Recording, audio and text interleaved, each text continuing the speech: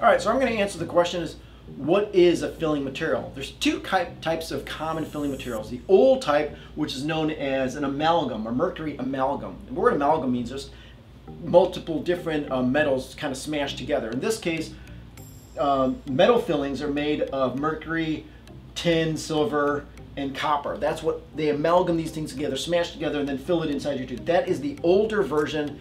Not many dentists place these anymore. The newer version is what we call the tooth colored version.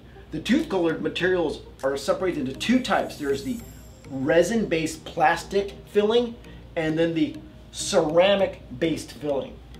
Um, the original filling, when they went to white, they it was it was plastic based. Plastic is not biocompatible with the human body. What makes something biocompatible is whether it reacts. It's reactive with the body.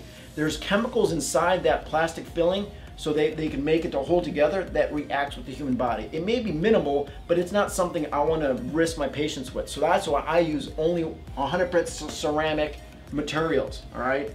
Ceramic is not reactive with the body. It lasts a long time. It looks great. It feels great. Mm. It's it's the number one material to use for fillings, and that's why I use it here. So if you look at th this, this tooth is actually this tooth over here. I removed this metal filling, I removed the tooth decay, and then I placed in a filling. So this is a much better um, restoration than that one, and uh, that's why I use it. And that answers what the type of filling materials are out there.